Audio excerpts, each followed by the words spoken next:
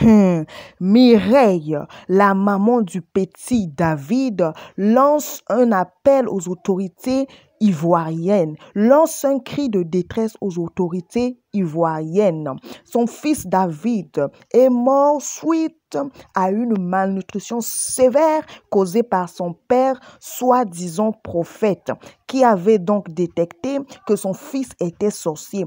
En voulant le délivrer, il a imposé à son fils plusieurs jours de jeûne à sec. Malheureusement, le petit n'a pas pu supporter et a succombé, à trouver donc la mort. Et en ce net moment, le petit frère de David est au coma dans un état critique. La mère donc lance un appel et je vous, laisse donc euh, écouter ce qu'elle a à dire. N'oubliez surtout pas de vous abonner et d'activer la cloche de notification. Ciao, à la prochaine. Je suis sidéré, mes frères et sœurs. Je suis dépassé. Je suis Mireille Saoné. Le papa qui a maltraité ses deux enfants-là, le soi-disant prophète qui s'appelle Bizier, dont mon fils est mort de faim. C'est-à-dire quoi, quand l'enfant est mort, là, son cadavre à la morgue. Le gars, depuis que l'enfant est mort, il n'est pas parti à la morgue. Jusqu'à aujourd'hui. Le deuxième qui est dans le coma. On lutte pour pouvoir soigner le deuxième qui est dans le coma. Comme le gars, il a relation. Aujourd'hui, ils vont à l'hôpital, vu que c'est mes parents qui sont à côté de l'enfant. L'enfant a peur du père. J'ai causé à mon enfant tout ici. Il n'y a pas de cheveux, il n'y a pas de cheveux. L'enfant te dit, maman, promets-moi que je ne vais pas partir chez papa. L'enfant dort, il dort, il souffre, il souffre. L'enfant n'est pas guéri. Et aujourd'hui, ils viennent, ils vont à l'hôpital, ils viennent. Et puis en plus, un papa qui a tué son fils, et il est encore en liberté, qui a maltraité son fils, encore en liberté. Donc en Côte d'Ivoire, il n'y a pas de, il a pas de, il a pas de, il a pas un ministère pour protéger les enfants des pères tueurs. Dans mon pays, il n'y a pas un ministère. C'est-à-dire quoi? Ils sont allés retrouver ma grande soeur là-bas. J'ai fait une procuration, donc je vais mettre ça sur mon Facebook. On m'a bloqué sur Facebook, je ne peux pas faire de direct.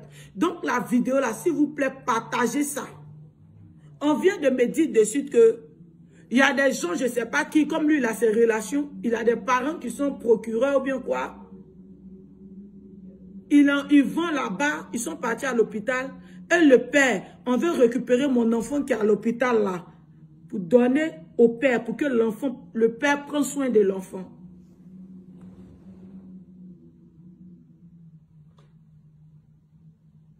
C'est dans quel pays on est?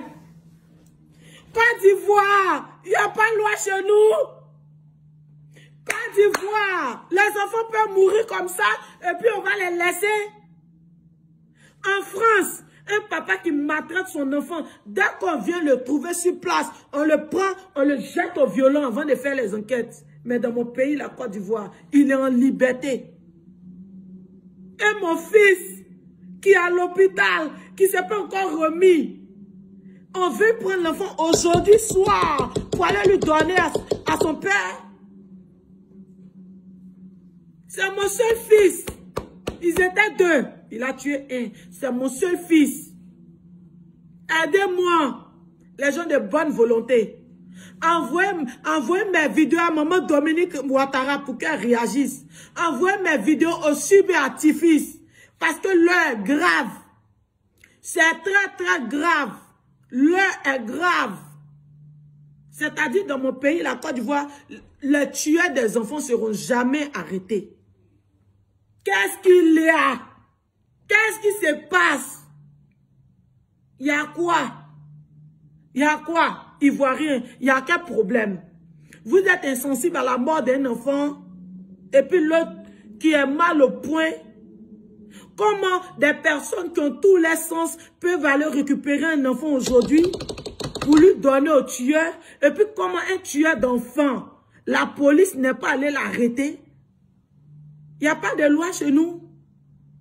Ivoirien, il n'y a pas de loi chez nous. Ça, c'est ma première vidéo. Partagez. Je vais encore faire. Je vais faire les vidéos jusqu'à ce que ma voix porte. Parce qu'on me menace. On me menace de mort. Ils m'ont menacé de ne pas faire des vidéos. Ils m'ont menacé, me menacent. Lui, il a des parents, moi, j'ai personne. Je suis comme tous les peuples. Je suis comme chaque Ivoirien lambda.